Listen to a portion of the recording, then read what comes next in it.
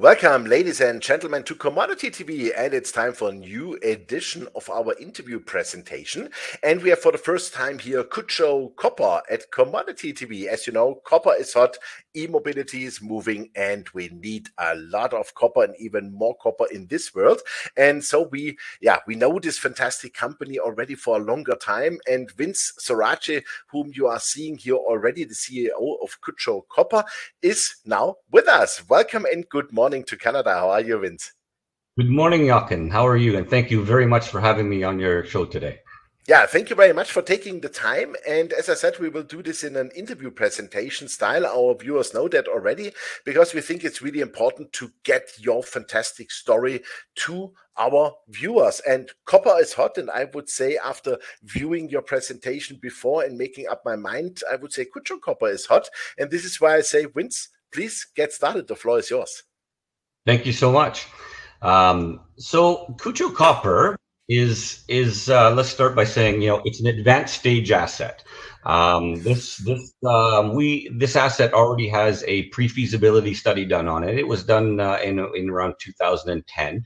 Um, so you know this is an asset that um, you know we're it's an advanced stage. We're looking to complete our feasibility study here in the next about six weeks. And then really uh, our strategy is through permitting and into production. So mm-hmm. that's just be a little flavor about, um, you know, kind of what level this asset is about. Um, and, you know, we, this was something that we acquired from Capstone, uh, Capstone Mining back in 2017. We identified it as an opportunity. Um, Capstone was not advancing the asset. They were uh, busy working with Santo Domingo and Pinto Valley. And so we purchased this from them uh, for about $28 million Canadian um, back in the end of 2017. We closed that transaction because we saw a lot of opportunity. This was a high grade asset. Um, and, you know, grade is very, very important, uh, as I think everybody knows. Uh, we saw the ability to kind of improve uh, the asset from an economic perspective. Uh, we saw the ability to grow the size of the asset, so we saw scalability, and that's um, you know why why we went out and bought this, and we've been working on it for the last couple of years and moving it forward. Mm-hmm. Um, we brought in some. Sorry. Yeah, one short question because I see already Wheaton Precious Metals and they came in like 2017, 2018. That is quite early. So they saw the opportunity too. Yeah, we, we, we brought them in as a as a, as a partner uh, to help uh, on a number of fronts with this. Um, you know, I, I've um, known the guys at Wheaton. They're a fantastic organization. They have an exceptionally strong technical team, very good reputation. And so when when I looked at this together with them, you know, they helped us on the acquisition side. Um, they brought twenty million dollars to the table to help with part of that purchase price which is something they've never done before. They did that with via some debt uh, with us. Uh, they've never done that before. And then they actually participated in the equity financing we did too, to the tune of four million dollars. And they they also uh, advanced us uh, about seven million US to help money in the ground in 2018 as we were gathering all the data uh, and doing some resource expansion drilling and all the stuff needed to go into the feasibility study. So they they um, they took a lot of risk with us. They liked the asset. And then we eventually did a streaming arrangement with them, and we'll talk more about that uh, in the next um, few pages of the presentation. Mm-hmm. Um, just you know, touch briefly on the team. You know, this team was put together specifically when we did this acquisition uh, to move Kutcho through feasibility and permitting. Okay, so you know this is where the experience is. We've had a lot of guys on the team uh, uh that are very strong on the permitting front, very strong on the technical front, very familiar with VMS type deposits, copper um, copper VMS type deposits, and lots of experience um, with uh, you know engineering and feasibility studies. You know, as you can see, uh, you know, not too many guys uh, that uh, you know have built and operated mines, but that's a very different uh, group of people. Um, they don't, you know, this group of people needs to get it from point A to point B. And then depending on what happens with the company, uh, you know, if we sell the company or there's an exit from that perspective, or we bring in the engineers and the mine builders, you know, after that. But that's a that's mm-hmm. a, a transition that we will look forward to in the future. But right now, the team is excellent at getting uh, getting it through the next phase of its life cycle. And the board, you'll notice. Quinn, uh, Stephen Quinn used to be the CEO of um, um, Midas, Gold. But he was also the CEO of Sherwood Copper. So Stephen Quinn owned this asset. He liked this asset.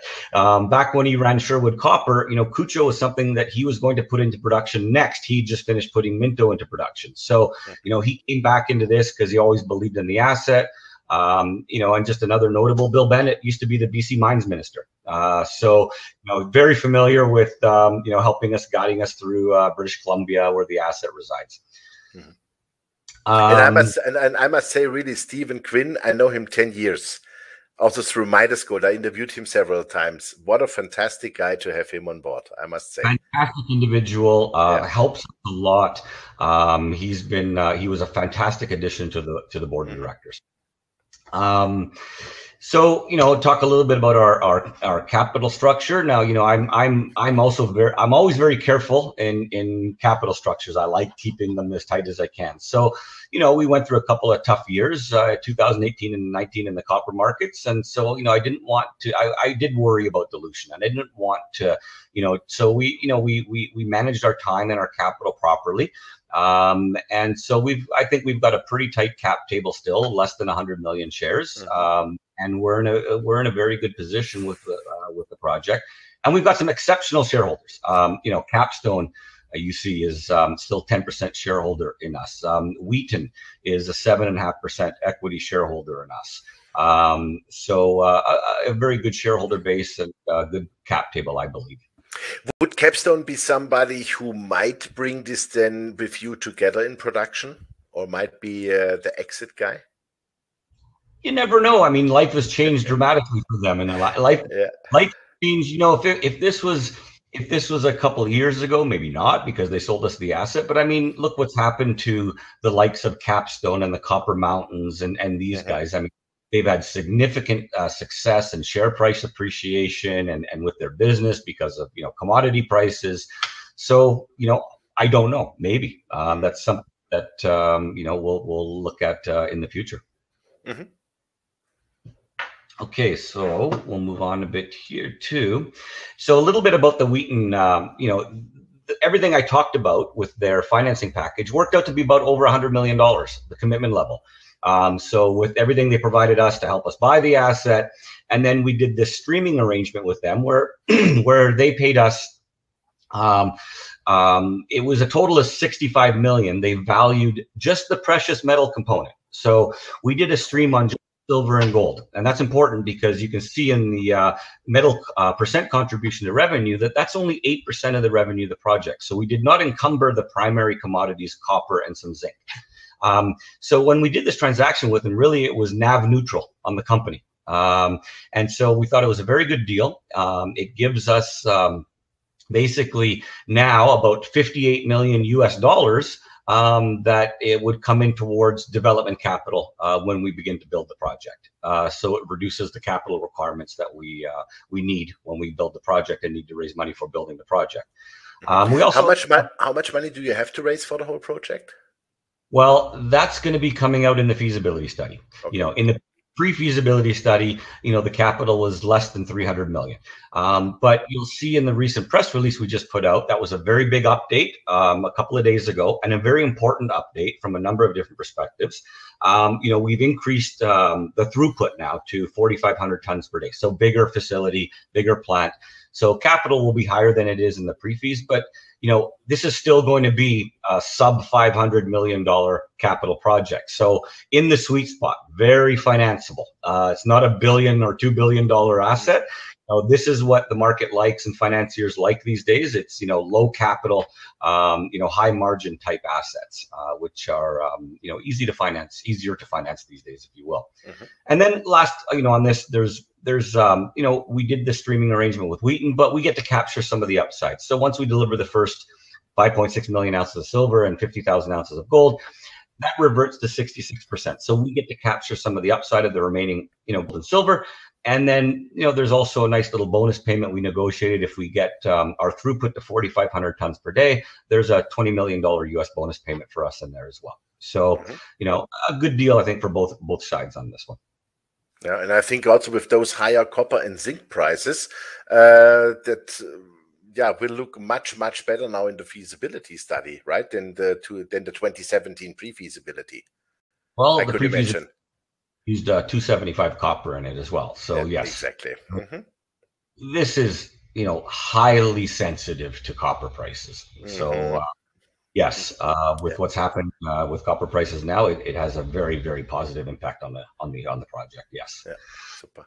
Um, and just to touch a little bit on where we are, uh, we're in British Columbia, so in Canada, very very safe and uh, mining jurisdiction, obviously being in Canada, and within British Columbia, you know, important to note that we're in a very mine, mining friendly jurisdiction of British Columbia. So we're in a we're in a part of uh, the province where you know you have Red Chris and Brucejack and Galore Creek, and so um, mines in production, mines in development. Um, you know this has got a it's a very friendly part of British Columbia with the First Nations. They're very pro mining.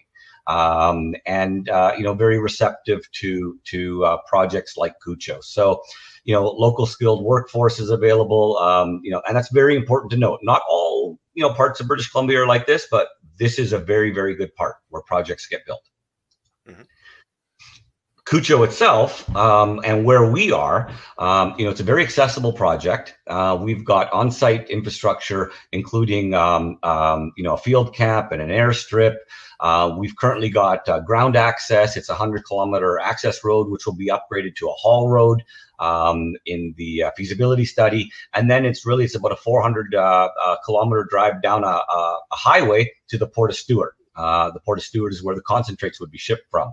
So it's a very subtle terrain, no mountainous regions. We're in this valley uh, to mine off of, so very easy. And and you know, I you know, it's it's. Uh, I think the most remote thing about this project is that you know we we are going to be running off LNG and diesel. There's no nearby power lines, but really all the other infrastructure is there for us. It's in place. It's in a good location and easily accessible. Mhm. I won't talk too much about this. I'm going to set this up for later, but you know, just a note here uh, on the geology that you see the orange dot where the Kutcho deposit is, but we sit in a, in a geological formation that repeats itself multiple times over the our property position, and just remember that for a little bit later. Now, what we've done is just recently, um, and this was a big update uh, on Monday, the press release we put out you know, Kutcho for the last 20 years has been, well, sorry, 15 years has been talked about underground mining. So we have three primary deposits. Uh, this is a VMS, as I said, the main lens, the Sumac lens, and the Esso lens. The main being the biggest, um, and Esso being the highest grade, smallest but highest grade. And I'll talk about the resources in a bit. Um, it was always contemplated that this asset would be always underground. And in the PFS, everything was contemplated underground, other than a very, very small starter pit. Um, and we were heading in that direction uh, with our feasibility study. But we made a big pivot as we were doing trade-off studies, and I was looking at the economic implications of, you know, can we can we open pit main? Um, there was some reservations in the past about doing that, um, and which continued to kind of move into the future, but those reservations now have been, I would say, alleviated. Uh, in this region, there are open pits that exist already. Okay, so there's now, you know, from 20 years ago, there's proper engineered solutions. Um, there's a different mindset with uh, regulatory bodies and First Nations that if you do your open pit uh, well, um, then it's okay. You know, people were scared of it. So you know, you can see in the last two press releases, and, and I also put out that we're engaging the nations in uh, in uh, negotiations now with economic participation agreements. So they're not afraid of this anymore. So we made a big shift in the feasibility study in about February, March, and that's what I talked about on Monday. That we are now moving down for the feasibility study in an open pit mining scenario with Main, um, which, as you know, when you open pit, mining costs are significantly cheaper, and that goes straight to the economics of the project. Yeah. So that would that would that mean that you could use, let's say, the open pit and the cash flow to take the money and do the underground development? the underground development, you know, Esso, and we'll you'll see more about this, but you know, mm-hmm. we're start we're going to start development pretty pretty quickly and at the same time as well because Esso's got extremely high grade. We want to get Esso online as soon as possible. I mean, Main's got fantastic grade. Don't get me wrong, but it actually done our trade-off studies and it makes sense for us to get that development capital going immediately to get Esso online into the mill as quickly as possible and even blend it with uh, the ore from Main. And we've done a lot of look at that and, and you know when we should spend that capital and it makes sense to do it right away. So you know we're going to bring that we'll bring the Esso lens online within the first few years um, of, of commencing production at Main too. And then the interesting eh, part is, you know, and I'll talk more about this, the upside potential, that whole Sumac lens um, really didn't get a lot of love over the years, uh, didn't have a lot of money spent on it. But that's over 10 million tons of inferred resources right now.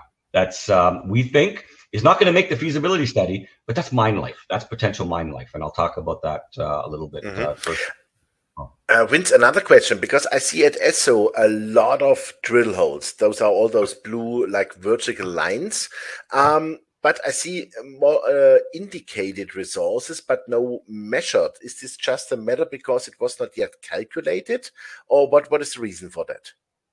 Oh, uh, that was, I guess, uh, you're going to ask me a really tough technical question here. That was just through our through our our resource modeling and um, and um, you know we, and we have a very credible uh, person on there, Rob Sim, um, and drill spacing. So mm-hmm. that was what we felt uh, the confidence levels were with respect to uh, the M and I categories and what we were able to move into those categories given drill spacing and how he calculated his resource. Mm-hmm. Okay here's just I won't spend too much time on this other than you know this is what we're working with. Um, we've got an M and I category of uh, totaling you know close to uh, just over 23 23 million tons.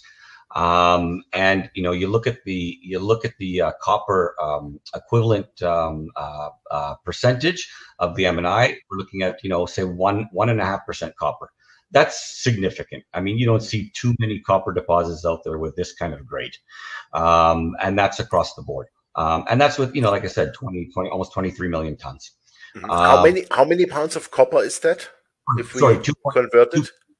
2.26 copper uh, equivalent percentage, one and a half. No, that's right. Copper. No, no. How, how many pounds would that be?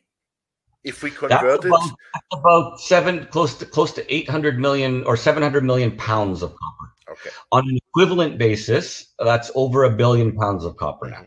So that's really yeah. significant. Yeah. Not bad for not bad for uh, you know a little high grade VMS uh, with with. and and again, I talked to look at the inferred category. You know, we've got an we've got an inferred category of tw- almost 13 million tons still at 1.62 percent copper equivalent. So that represents a lot of upside and additional mine life. Um, you know, that's not going to make the feasibility study yet, but that's mm-hmm. that's substance the project, and it's valuable. Mm-hmm. Uh, I'm not going to spend too much time on this, but these were the economics from the 2017 pre-feasibility because all this has changed now. I mean, we've we've done, as I mentioned in my press release, we are now going to be doing 4,500 tons per day. Uh, that's the contemplated throughput, and even being able to scale up on the throughput uh, has reverberates through operating costs, etc. It makes them more efficient. Um, and you know the the um, life of mine payable copper and all that that's that's all going to change. So um, our recovery numbers have changed because we did an extensive job on the metallurgical program. So this is a, a reference to what it used to look like but it's going to look significantly different now with mining methodology um, with uh, plant size and throughput uh, coming into the feasibility study. So um, but you can see the one thing to note here is that even back then you know, this was a robust project. Um, you know, at 265 million after tax NPV, but an IRR of 28%. Um, you know, it, it's it's a robust project, and now you know with increased copper prices and what we think we've done on scalability and efficiency, we're we're you know aiming to continue that that high margin, robust feel of it, but add value to it as well. Mm-hmm. That's our objective. I won't talk too much about this, but the important thing to hear is that there's no nasties. So people will ask, well, is there arsenic? Is there all of this in the project? We've got a very, very clean concentrate. We've got something that rated, and you know, in my conversations with uh, you know the traders out there, a very clean and will be a very sought after concentrate. So no nasties above penalty limits uh, that would cause us any issues out there with respect to the concentrate. How how would that be then transported? Because concentrate is let's say a little bit um, more material um, than uh, you would do like uh, cathode copper or stuff like that. So would that be then trucked or by train? How how how do you want to do that? From from site. Um, yes. We will we will truck it from site down to the port of Stewart, uh, and then shipped from the port of Stewart. Okay. Good. Um, just a little bit on the where we're at with permitting. So we've been working on this for years. We've done a substantial amount of work. I mean, Capstone did a substantial amount of work uh, to go through the permitting process, and they had a lot of legacy data. And we spent, um, you know, 2018, 19, 20, basically filling in the gaps, uh, our baseline studies, and we're in. Um, and then we filed what was called a Section 11. So that's the the first gate to get through uh, the permitting process here in BC. Um, we we stopped it there because the next leg of it requires um, you know the money to basically make sure you go through it and with the First Nations and the community engagement and the involvement. You want to do that. Uh, you don't want to stop once you've started. But so we got ourselves, and again, I'm talking back when capital was harder to find a couple of years ago. We got ourselves in a really good position to now really move smoothly through the permitting process, um, and we've commenced that again now. What, what is the time frame for that? You know, it's um, you'll see in our timelines, you know, pro- two and a half to three years. You know, we we can have we think we can have a fully permitted project uh, mm-hmm. here in Columbia. So, you know, in the scope of things, not too bad. Uh, and you know, people might think, well, that sounds like a very long time. Well, I challenge people to find me another copper project out there um, that is, you know, a ability level and b three years away from you know uh, a fully permitted asset in a jurisdiction like Canada and like BC. That's mm-hmm. uh, very very safe. And just a quick note, I've talked about this earlier. The First Nations, we have two, Kaska and Tahltan.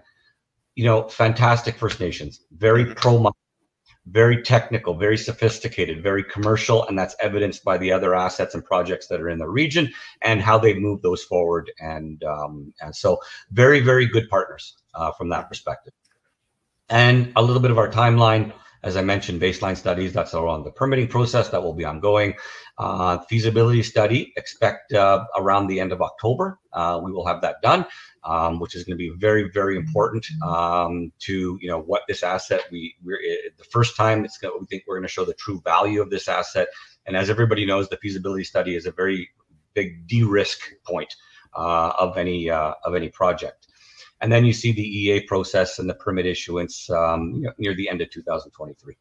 Mm-hmm. That's interesting because the feasibility study is like in between the EA process.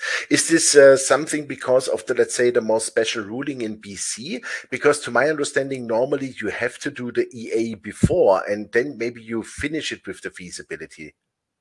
That's that's what we've been doing. We've been working through the EA process, and again, you know, we submitted uh, we our section eleven, um, and we have that filed. Um, so there's parts of it that we do before, during, and then after the feasibility study, okay. as you mentioned. And yep. then after the feasibility study and the EA process, then the permit and submission and review. That's the final pieces of getting your permit. Mm, and then you have to do the project finance. Then we do project finance. Yes. Mm. So that means 2025 you could be in production.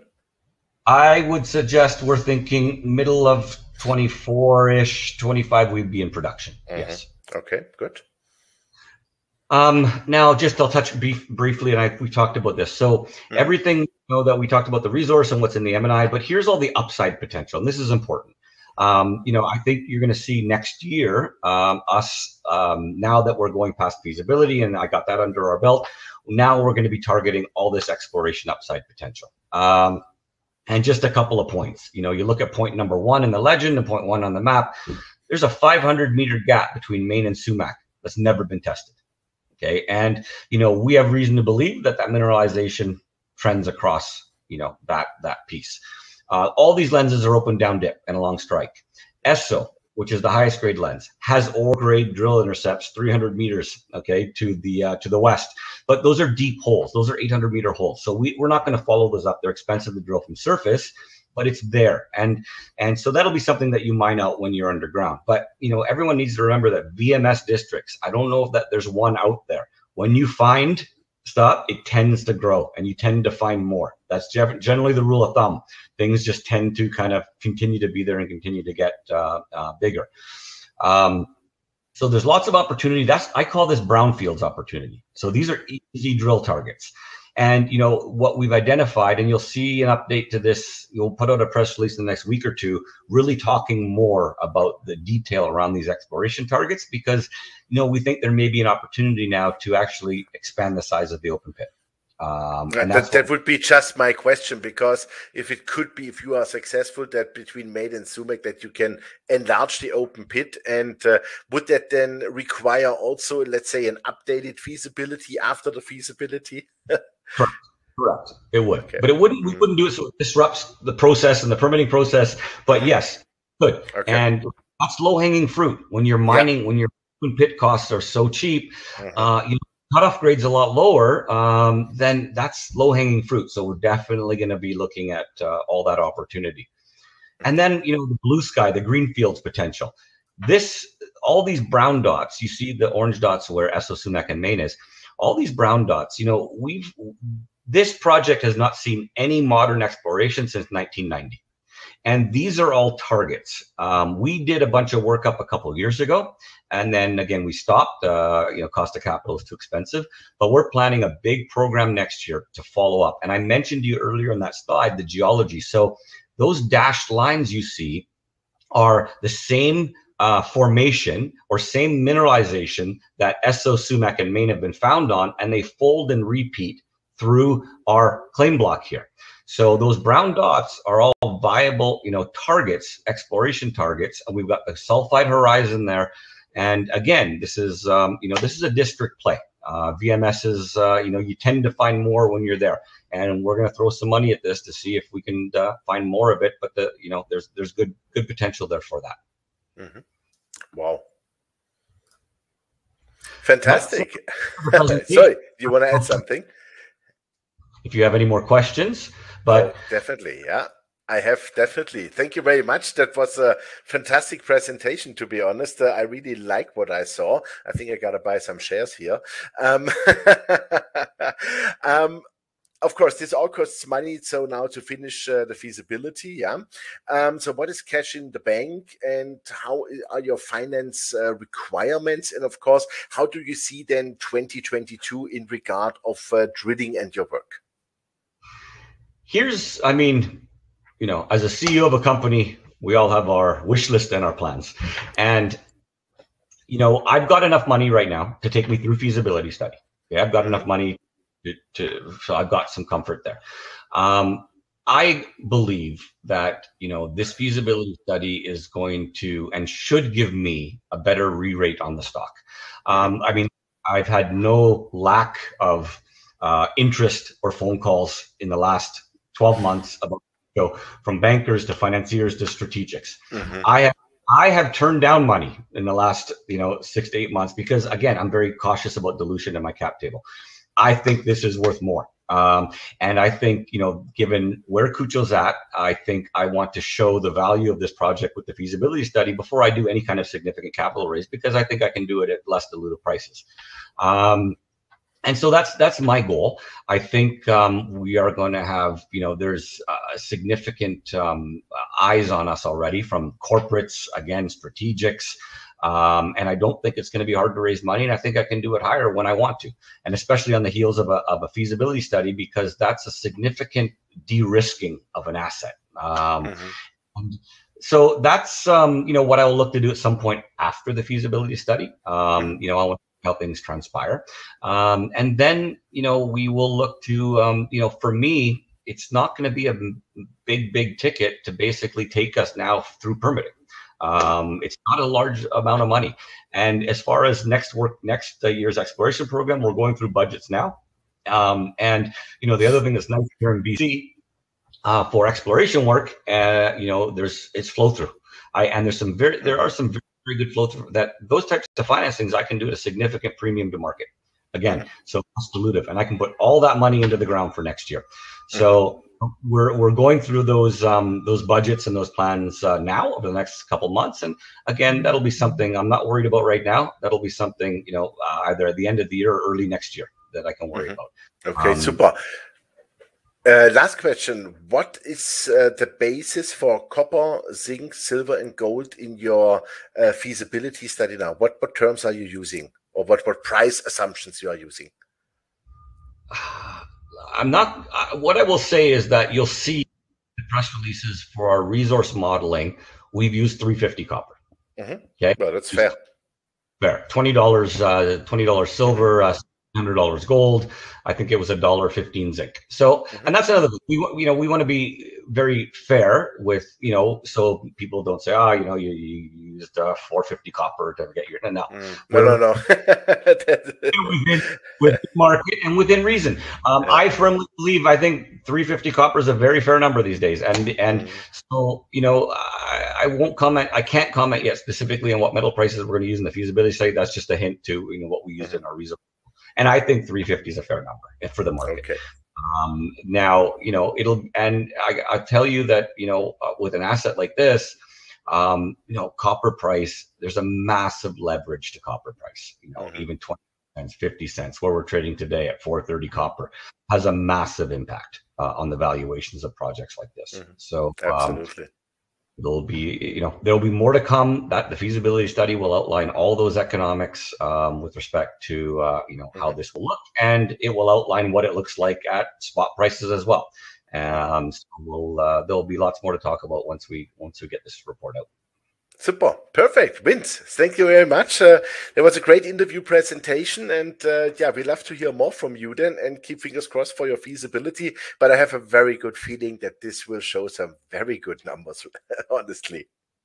Well, thank you for having me, Jochen. Always a pleasure to, to speak with you. Thank you very much. Yeah, ladies and gentlemen, that was Vince Sorace, the CEO of Kutcho Copper, and you heard it very close to the feasibility study, ladies and gentlemen. And please not to forget, we talk about a fantastic copper, zinc, but also with silver and gold byproducts project here. But uh, what is really important for me is uh, that this is situated in British Columbia in Canada. So super safe jurisdiction. And uh, as we all know, this world needs a lot more copper. So I could imagine that this project with the right numbers be published in some weeks and months here um, with the feasibility. I could imagine this will attract a lot of attention and, of course, a lot of yeah, mid-sized to big boys. So I would suggest you make up your mind in your due diligence on Kutcho Copper. I think it's a great company after uh, talking half an hour here with Vince. And uh, yeah, we will keep you posted. And thanks for watching us and bye bye from Switzerland.